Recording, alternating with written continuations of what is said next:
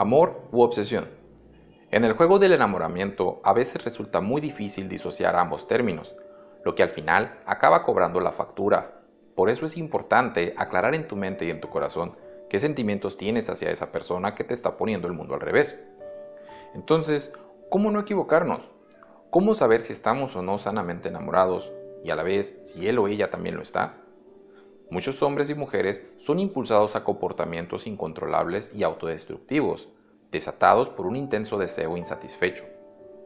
Otros, víctimas de los obsesivos, encuentran que sus vidas están de cabeza al ser el centro de una atracción no deseada.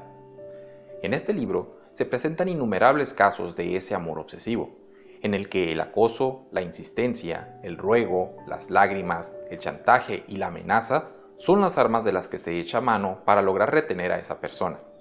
Susan Forward y Craig Buck ofrecen gran ayuda tanto a los obsesivos como a sus víctimas. Los obsesivos aprenden técnicas probadas para reducir su tormento y para controlar su comportamiento autodestructivo, permitiendo el desarrollo de nuevas relaciones sanas. Gracias por tu atención.